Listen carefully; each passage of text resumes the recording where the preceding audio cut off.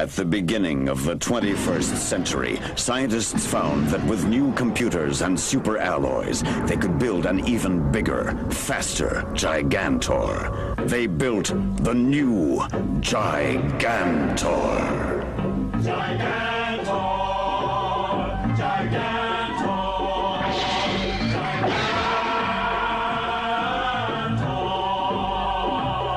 Gigantor of space